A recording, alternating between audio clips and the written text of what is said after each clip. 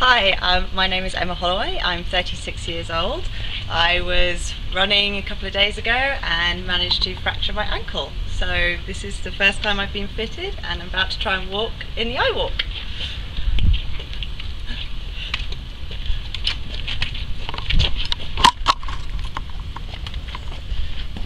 Yeah, seems pretty comfortable. I think I'm doing okay. it's a lot easier than crutches, that's for sure. okay, I now have enough hands for my handbag. Am I'm going to try and turn around.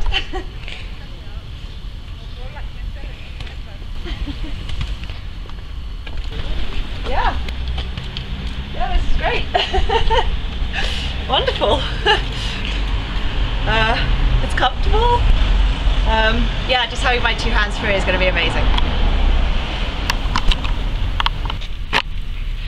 Hi, this is Emma again. Um, we've made some adjustments now going from the learning phase and I've been walking for about five minutes and I think I'm getting a bit better at it.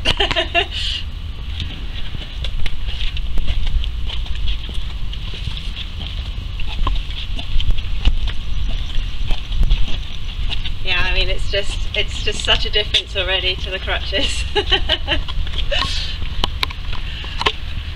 um, yeah, I, I don't know. I, I've I'm just extremely grateful. Just spending two days already on crutches, trying to figure out how to get up and down stairs and how to where to put them. Are they going to fall over? Trying to grab my handbag, trying to have that under my arm, and trying to walk and open my car door. It's a nightmare, and I've only done it for two days. I can't even imagine what it would have been like doing it for, for weeks or months on end. So I'm I'm so grateful.